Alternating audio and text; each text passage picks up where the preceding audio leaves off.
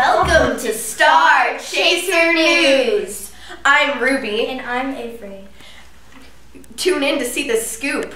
Holidays are fast approaching, which means the middle school talent show will soon be upon us. The talent show is strictly for fun. There will be no winners announced. Any student from 5th through 8th grade may participate. The show will be somewhere between December the week of December 17th. So get your act together.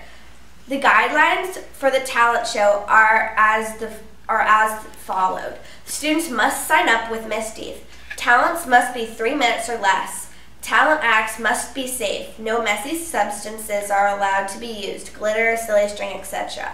Students are only allowed to participate in one group act and or one solo act in order to give time for all to participate. We need we need for all the music to be delivered to Miss Dieth via, via an email or MP3 music or on CD. Uh, talents, talent acts must be approved by your advisor.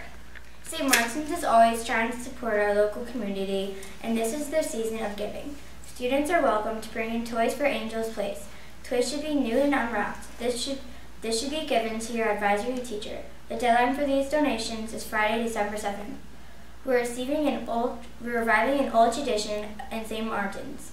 We're building a peanut butter Christmas tree. I know it sounds odd, but there's methods for this madness. Four food pantries struggle to keep to keep up during the holidays. Therefore, in the spirit of the season, we want to donate to the Second Harvest and other food banks around the city. We choose peanut butter because it's high protein, shelf stable, and inexpensive. We're asking that the 7th and 8th grade students bring in two jars of peanut butter. The jars can be any size, any brand, any style. We really are hoping that we can get full participation. If you can bring the jars this week, that would be great. Also, don't forget to get your hot cocoa on. Cookies with Santa is December 15th from 10 to 12. Come enjoy hanging out with the elves, listening to Mrs. Claus, and having a wonderful family picture taken for $15. It's the best bargain in town.